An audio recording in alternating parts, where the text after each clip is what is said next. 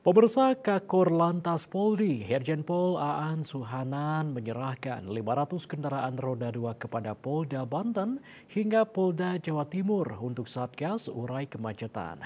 Herjen Pol Aan Suhanan menjelaskan pembentukan Satgas Urai Kemacetan ini guna mengantisipasi kepadatan jalan saat musim mudik balik lebaran seperti diketahui 193,6 juta jiwa diprediksi akan melakukan perjalanan mudik ke kampung halamannya masing-masing. Kakor Lantas Polri Irjen Pol Aan Suhanan menyerahkan 500 kendaraan roda 2 kepada Polda Banten hingga Polda Jawa Timur untuk Satgas Urai Kemacetan.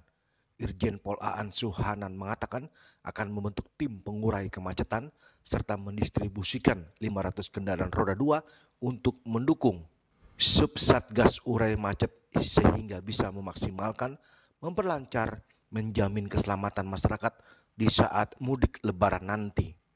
Menurutnya strategi untuk melayani masyarakat sangat diperlukan, mengingat jalur darat masih menjadi pilihan utama bagi para pemudik.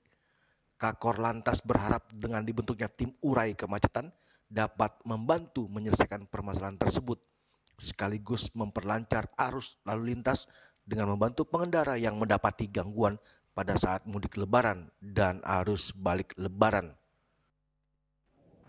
Ya, jadi hari ini kita serahkan sebanyak 500 unit kendaraan roda 2 ya untuk tim urai kemacetan, terutama nanti untuk antisipasi eh, arus mudik dan arus balik tahun 2024 ini, di mana animo masyarakat ini cukup tinggi ya.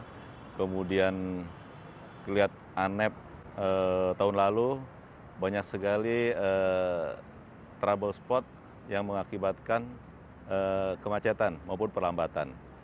Terutama untuk para pengemudi yang berhenti di bahu jalan atau mendapat gangguan, anak tim inilah nanti yang akan eh, menyelesaikan permasalahan itu ya.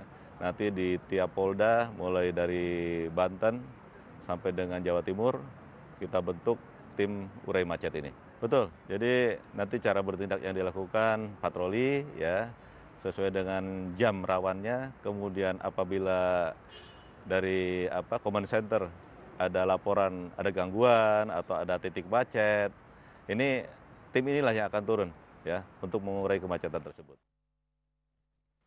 Dari Jakarta, Julius Suharta dan Ketut Sumadiasa melaporkan.